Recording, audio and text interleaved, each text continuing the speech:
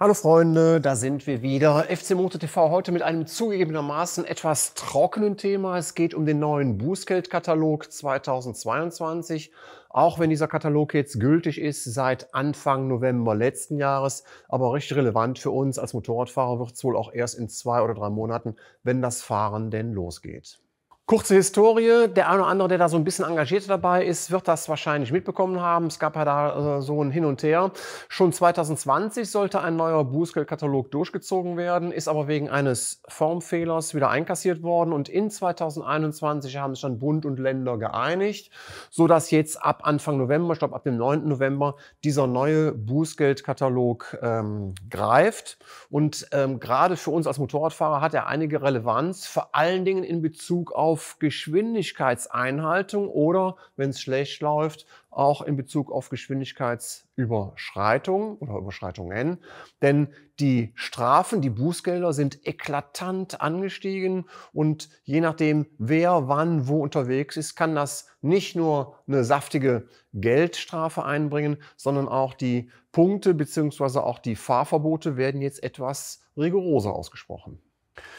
Ich sprach eben schon davon, dass die Geschwindigkeitsüberschreitungen für uns als Motorradfahrer mit Abstand das größte Problem darstellen. Denn, sagen wir ganz ehrlich, wie schnell ist man mit dem Motorrad in einem Bereich, wo offiziell 70 km/h ausgelobt äh, werden, auf 90, 95 oder gar 100 km/h? Ich als nicht so schneller Motorradfahrer insgesamt, als gemütlicherer Motorradfahrer, ähm, ertappe mich dabei, dass das einfach ruckzuck der Fall ist. Und da sollte man jetzt ein bisschen sensibler mit umgehen. Denn ich habe das beispielhaft mal ähm, rausgenommen, eine Geschwindigkeitsüberschreitung Leistung von 16 bis 20 Stundenkilometer mehr würde innerorts bedeuten, dass aus 35 Euro jetzt 70 Euro werden, also exakt das Doppelte. Und außerorts sind wir von 30 Euro auf 60 Euro. Zum Glück noch weder mit Punkt noch mit Fahrverbot verbunden.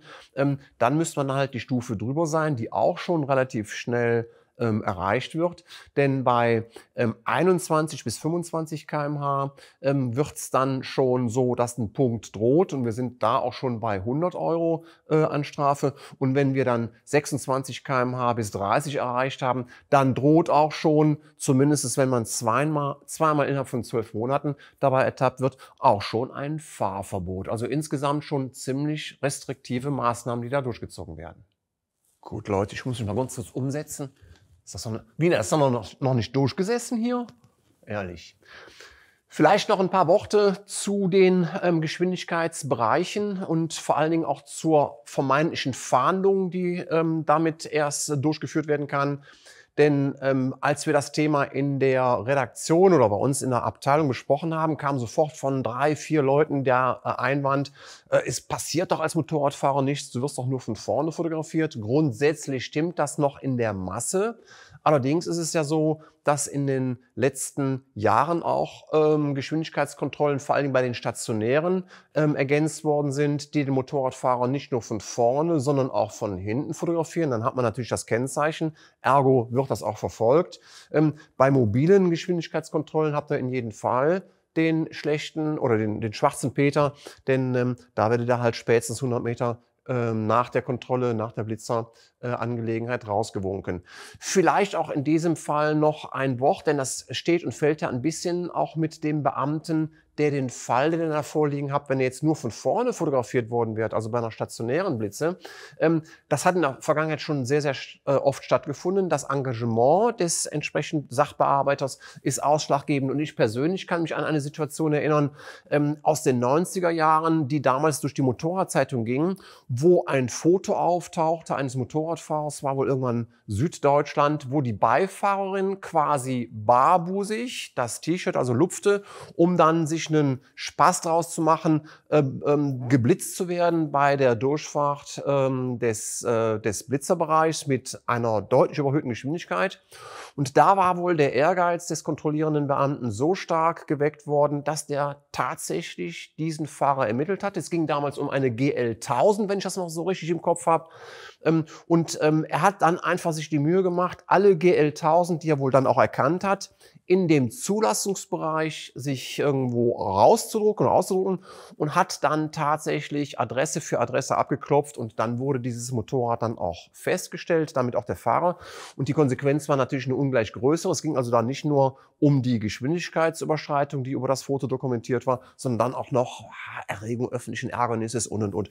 Also von daher, je nachdem, wer da ähm, der kontrollierende Beamte ist und dessen Ehrgeiz dann geweckt wird, ähm, dann kann es durchaus ermittelt werden, wer damit gefahren ist, wenn es denn spezielle Eigenschaften an eurem Motorrad gibt, die sehr individuell sind. Und mir persönlich ist noch gar nicht mal so lange her, ist vielleicht vier, fünf Jahre her, bei mir in meiner Heimatgemeinde passiert, dass ich innerhalb von 14 Tagen zweimal geblitzt worden bin. Und dann habe ich tatsächlich gedacht, wenn es da vielleicht so einen Menschen gibt, fahr erstmal die nächsten zwei, drei Monate mit einem anderen Helm durch die Gegend, dass du nicht irgendwann von der Streife vielleicht rausgewunken wirst, weil die Leute sich vielleicht untereinander ähm, ausgetauscht haben.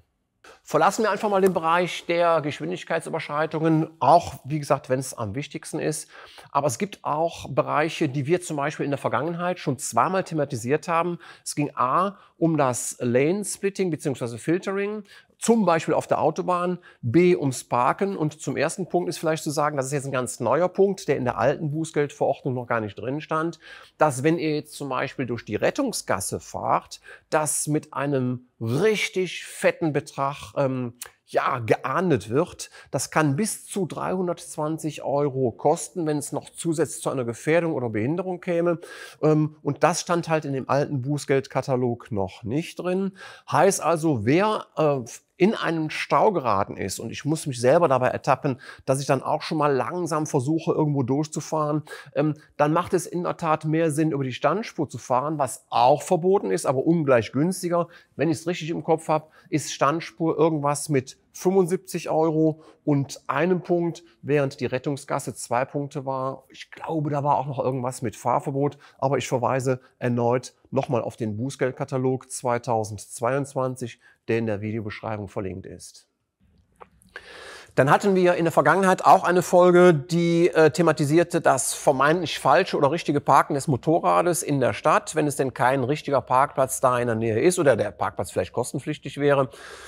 Und die Quintessenz der damaligen Folge war, dass man, wenn man das Fahrzeug so parkt, dass es keine großartige Behinderung darstellt, dass das in der Regel von den Gemeinden, Kommunen und auch Städten toleriert wird. Es gab einige Ausnahmen, aber wenn man dann äh, notiert wurde, äh, war das eine Ordnungswidrigkeit und das war dann ähm, 15 Euro, hielt sich also einigermaßen in Grenzen. Das steigt jetzt auf 55 Euro. Also das ist schon, das tut schon richtig weh. Für mal auf die Schnelle irgendwo das Moped äh, hinstellen. Und wenn es so ist, dass äh, die Maschi Maschine irgendwo geparkt wird im Fahrradwegbereich, dann kann es richtig teuer werden. Da kann auch schon mal ein Punkt mit dazukommen. Und dann sind es, glaube ich, 70 oder 75 Euro. Also von daher Augen auf beim Abstellen des Fahrzeugs am Straßenrand. Radweg würde ich sagen per se erstmal nein, ähm, während ähm, der Gehweg zumindest so breit sein soll, dass eine Frau, Schrägstrich Mann mit Kinderwagen stressfrei passieren kann. Dann wird in der Regel kaum ein Ordnungshüter oder das Ordnungsamt ähm, da einem Knöllchen schreiben. Aber eine Freikarte, ein Persilschein ist das nur, weil das Steffes gesagt hat, auf keinen Fall. Ist natürlich zugegebenermaßen ein sehr trockenes Thema, deshalb versuche ich mich auch heute sehr, sehr kurz zu halten. Wie gesagt, ich verweise doppelt und dreifach auf unsere Video Videobeschreibung, da sind die interessantesten Sachen drin. Wichtig ist vielleicht einfach nur nochmal, um die Sensibilität bei uns allen zu schüren, dass jetzt ein relativ großer Unterschied ist zwischen altem Bußgeldkatalog und neuem Bußgeldkatalog. Und von daher, bevor es richtig losgeht jetzt in der Saison, ähm, schaut da einfach mal rein. Ich glaube, dass ihr dann beim nächsten Mal ein Ticken vorsichtiger ums Eck fahrt. Wenn es ansonsten gefallen hat, freue ich mich über Daumen hoch. Ich freue mich natürlich auch über reichliche Abos und ihr ballert mich wie immer zu äh, in der Kommentarfunktion. Leute, das war's schon wieder von meiner Seite. Ich sage Tschüss und Adios.